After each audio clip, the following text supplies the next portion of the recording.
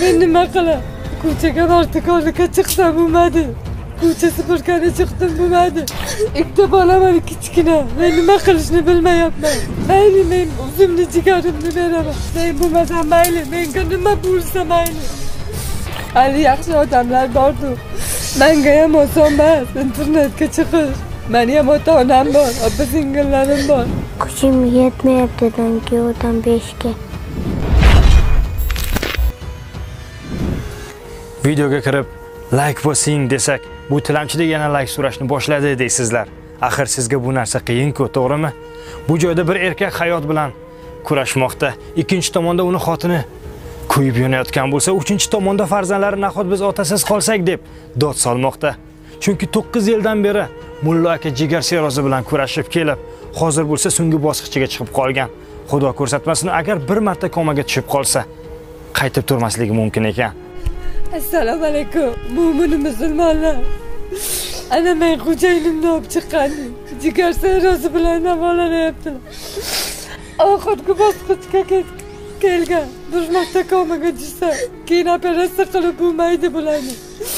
Men nima qilay ko'chaga mardikorlikka chiqsam bo'lmadi. Ko'cha supurgani chiqdim bo'lmadi.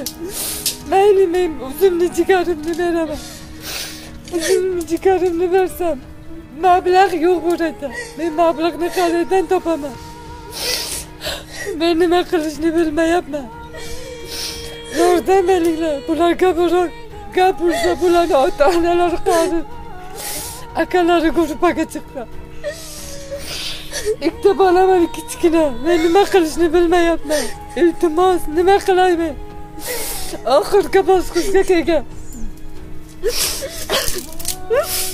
yordam beringlar iltimos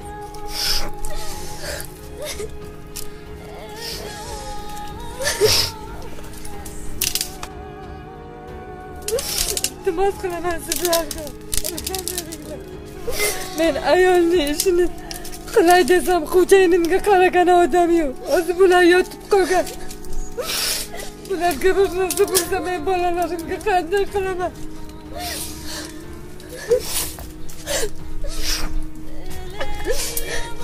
men bo'lmasam mayli menga nima bo'lsa mayli erim tuzalsalar bo'ldi bolalarimni o'zlari boqib oladilar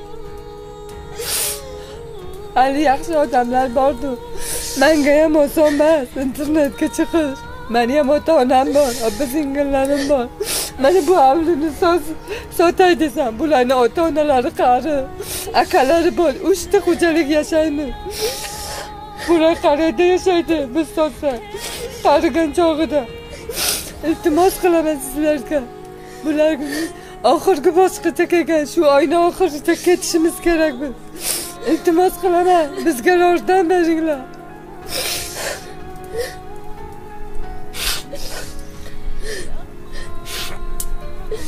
Men albatta o'zim mukammal yaxshiliklaringizni qaytaraman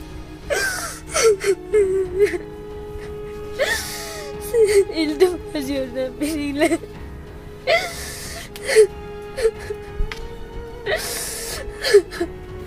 men hali yoshi qilaman dadamga yordam berishga kuchim yetmayapti dadamga yordam berishga dadamni tuzatish uchun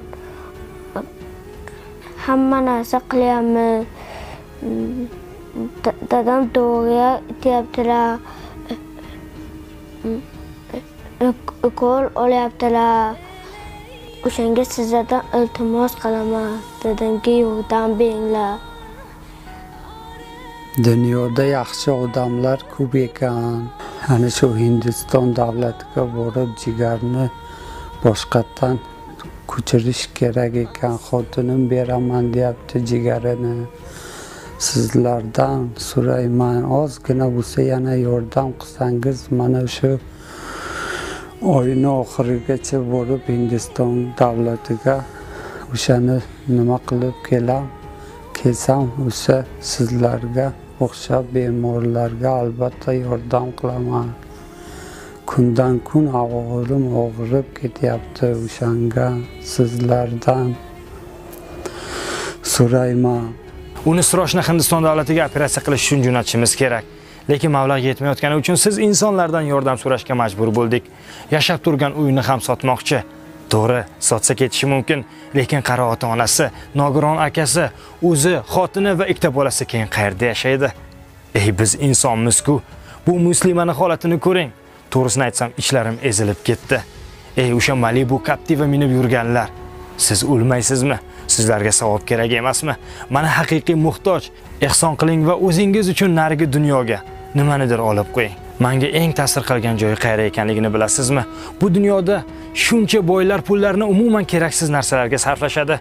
Bu tomonda bo'lsa erini hayoti uchun yig'lab pul so'ramoqda. Hayot juda ham qiziq a shunday emasmi? Bu gapni tushunish uchun shunchaki vijdon bo'lishi kerak. Nima qilsangiz ham o'zingizni oxiratingiz uchun qilasiz. Oddiy xalq. Boshingiz omon bo'lsin. O'sha siz ehson qilgan 100 yoki 2 rublingiz savobi sizni inshaalloh jannatga yetaklasin. Chunki ehsonni qanchaligi emas uni qay holatda qilinganligi muhimdir.